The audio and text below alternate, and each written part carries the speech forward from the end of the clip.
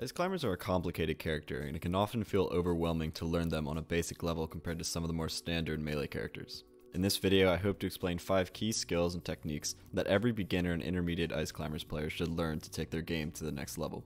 This video isn't going to include basic universal melee techniques such as wave dashing, short hopping, and L canceling, but instead focus on Ice Climber specific tech. That being said, it's still important to have the melee basics down when learning Ice Climbers. Down throw, down air, timing, and types. Down throw down air is a key part to Ice Climber's punish game in almost every matchup. It can serve as an easy way to rack up damage, a method of pushing your opponent towards the ledge to set up a handoff, or even as a way to mix up your opponent's DI by making them DI away for the down air, then hitting them with a strong move like down smash or forward smash. There are multiple types of down throw down airs that all Ice Climber players should learn. You can perform a down throw down air out of using both a full hop down air and a short hop down air from Nana. Changing Nana's positioning can also help you send your opponent to different spots with the combo. Sending the opponent behind you and grabbing them with a turnaround grab is especially useful because it allows you to set up the opponent for guaranteed corner handoffs. You can also use the reverse version of down throw down air to mix up your opponent's DI by sending them behind you and immediately hitting them with a down smash. Down throw up smash and follow ups. Another staple of Ice Climber's punish game, especially in the post wobbling era, is down throw up smash. This combo is particularly strong versus Fox, Falco, and Captain Falcon, as you can get a regrab after.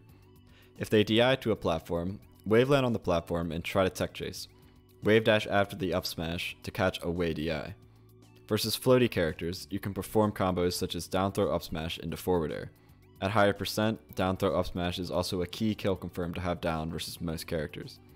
This combo is started with down throw, so the timing will be different for each character, with lighter characters being faster and heavier characters being slower. Dash Dance Desync. Most Ice Climber players know the basic desync methods such as rolling, spot dodging, and grabbing.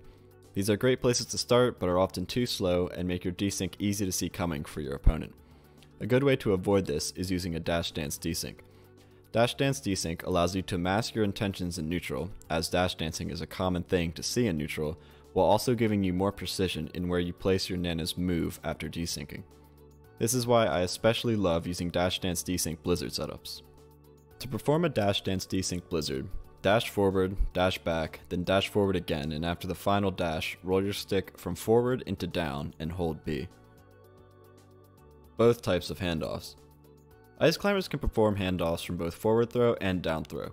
It's important to know how to do both and also what situations each handoff type is best suited for. Down throw handoffs help you optimize damage output while doing corner handoffs because they don't move the opponent as far forward for each regrab, allowing you to do more handoffs. Forward throw handoffs can put the opponent in a position where corner handoffs are guaranteed when your initial grab position wasn't in the guaranteed corner handoff range.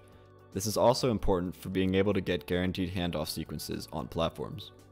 Having mastery over forward throw handoffs is also very convenient because the timing is consistent versus every character while the timing for down throw handoffs is dependent on the character's weight.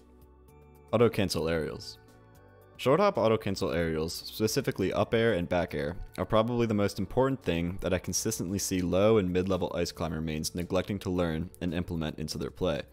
Auto cancel up air and back air are important tools for comboing, anti-airing, playing at a shield, and poking in neutral. To perform an auto cancel up air, I recommend using A instead of C stick. You need to do the up air while still rising in your short hop, so I short hop with Y then slide my thumb down and press A while rising. I use the same method for doing auto cancel back air. I know many people use C stick for all their aerials, but this is one instance where I think using A can help you perform these aerials more consistently.